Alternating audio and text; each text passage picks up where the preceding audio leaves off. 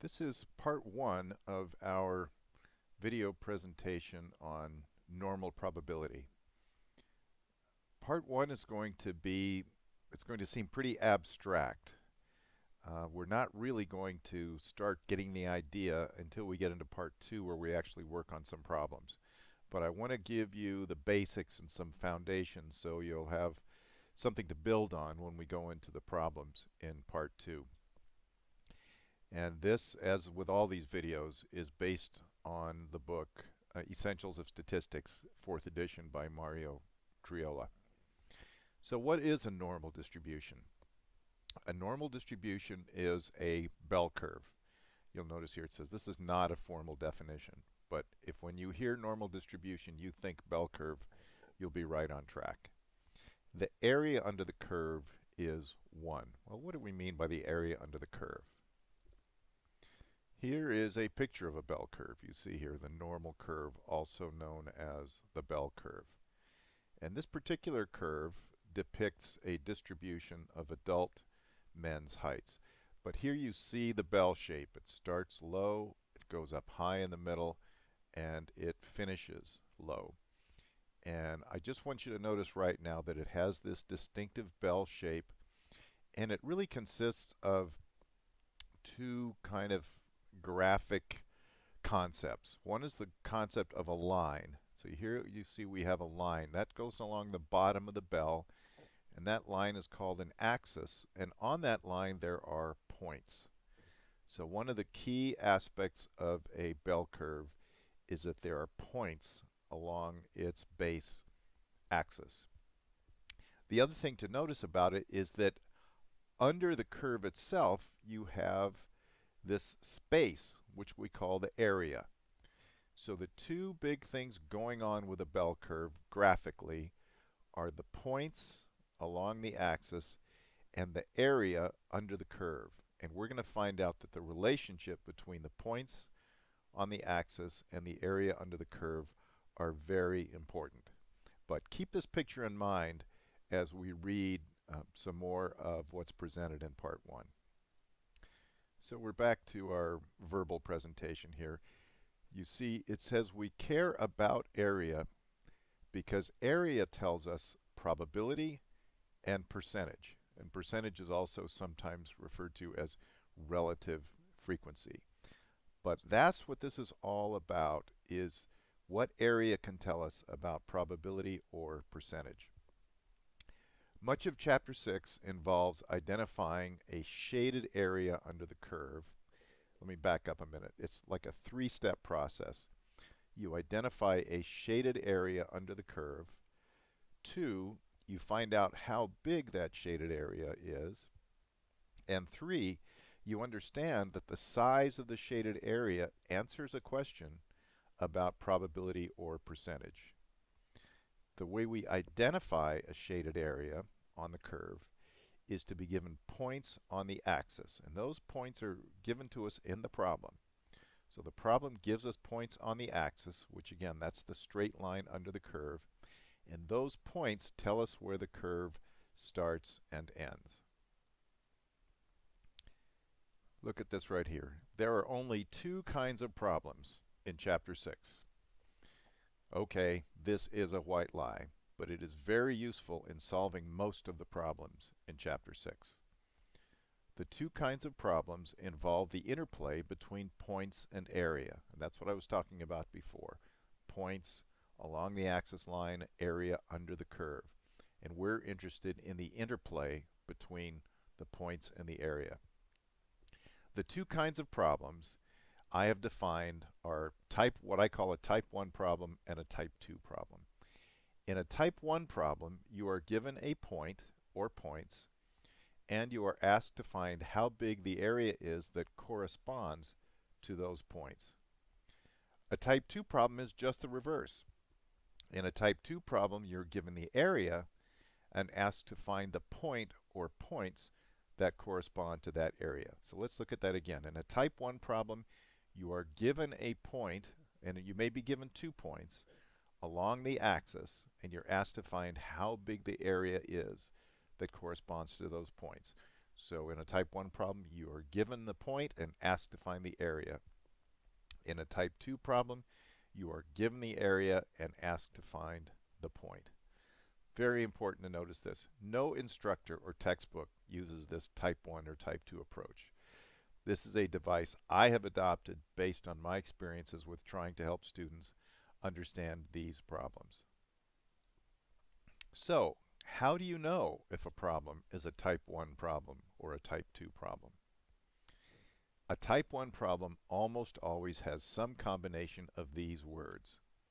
Find the probability, or find the percentage, or what is the probability, or what is the percentage.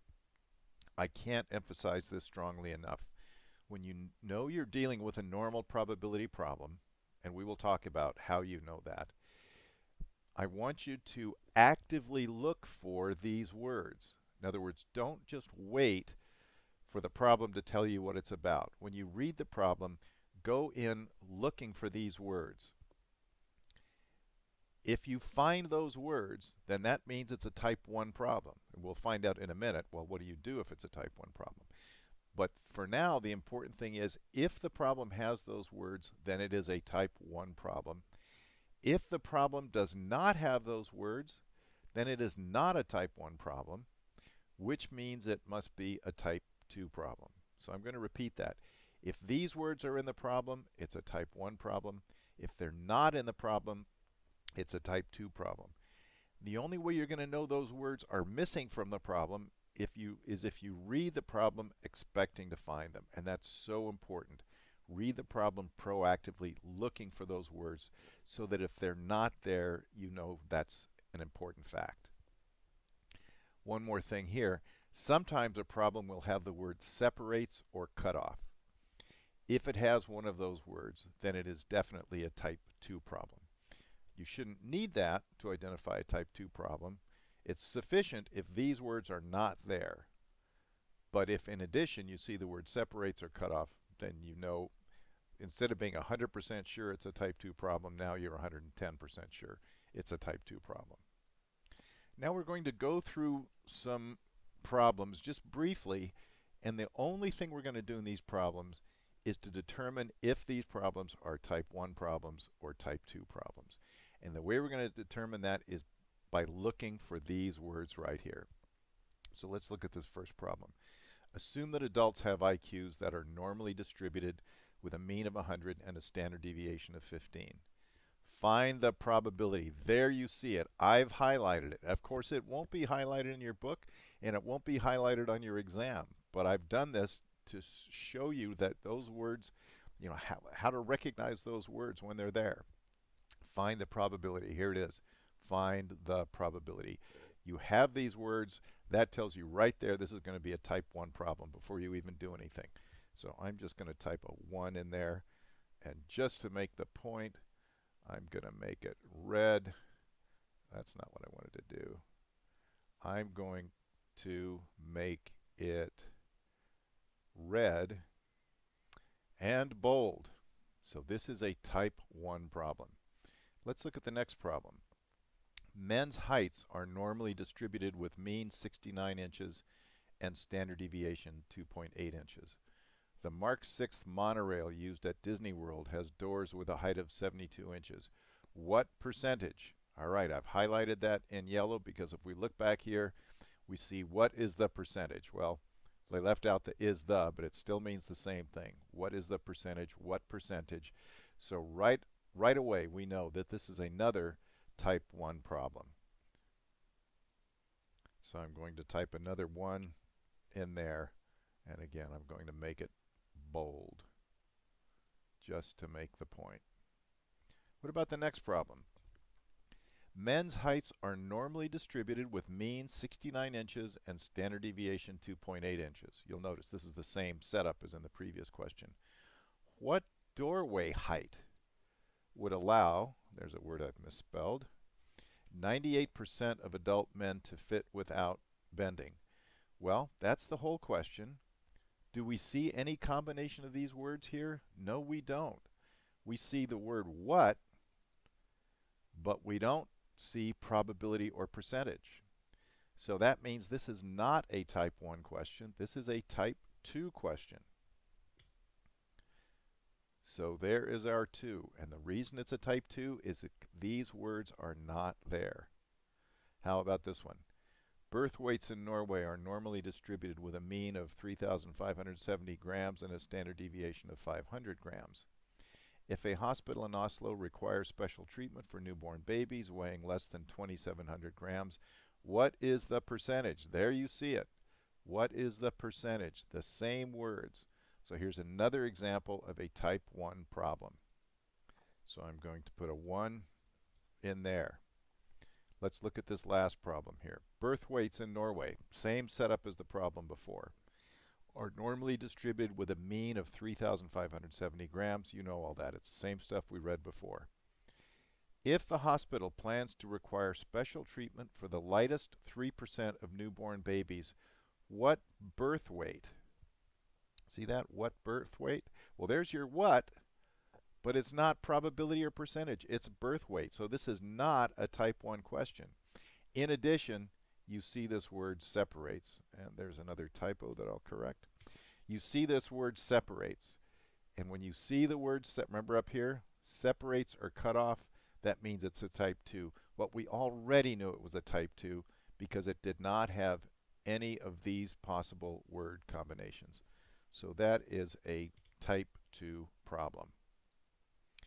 So, once you know if it's a type 1 problem or a type 2 problem, what do you do next? Well, there's a couple of ways to do these problems. One way to solve them is to use z-scores and the z-tables in the back of the book. And many instructors prefer this approach. However, I prefer to use the TI-83 or 84 calculator, and this is how you do that. If it's a type 1 problem, then on the calculator, you're going to use this function, second vars, and you're going to scroll to normal CDF, and in there, you're going to type in low, high, mu, and sigma. And you don't know what those things are yet, but we're going to talk about them extensively in part two of this presentation. If it's a type 2 problem, you're going to use second vars INV norm, inverse norm, then you're going to enter the area to the left, mu, and sigma. So let's review just our discussion here about type 1 and type 2 problems. A type 1 problem, what it is. What it is is you are given a point or points and you are asked to find out how big the area is that corresponds to those points. You're given a point and asked to find the area. The keywords in the question that tell you it's a type 1 problem are find the probability, what is the percentage, or some combination of those. But in all cases, they're going to be asking you to find a probability or a percentage. And then the third thing is what do you do on the calculator? On the calculator, you're going to use second VARS, normal CDF, low, high, mu, and sigma you're going to put into that function. If it's a type 2 problem, what that problem is, is you are given an area and you are asked to find which point or points correspond to that area.